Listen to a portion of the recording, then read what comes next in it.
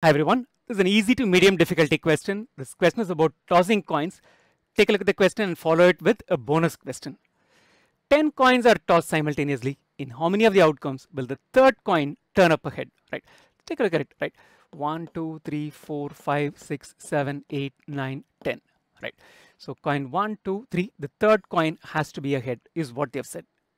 What about the first coin? When they said the third coin has to turn up a head, did they mean that the other nine should turn up a tail?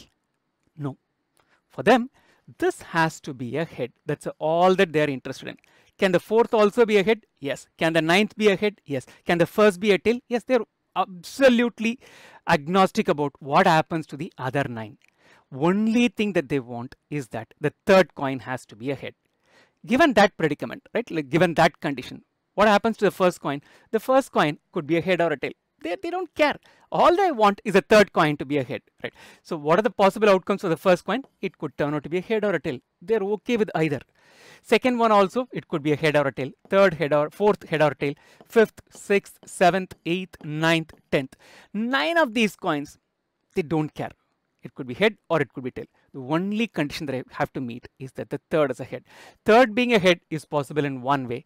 The remaining nine could be head or tails in two ways. So what is the total number of outcomes? Two times, two times, one times, two times, two times, so on and so forth.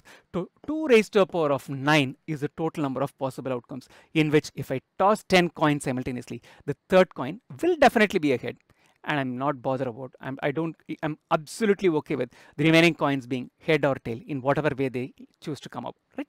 So 2 power 9 is the correct answer. Choice B is the correct answer to this question. We look at the bonus question. 10 coins are tossed simultaneously. Okay. Read this slowly. Stated a little more than what I stated there. In how many outcomes will the first, third, and fifth coins turn up a head? Right. Each of those should be a head, and the other coins turn up tails.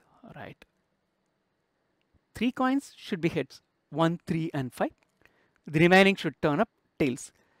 How many outcomes will this happen is what the question is. Give it a shot and post your answers in the comment section of this video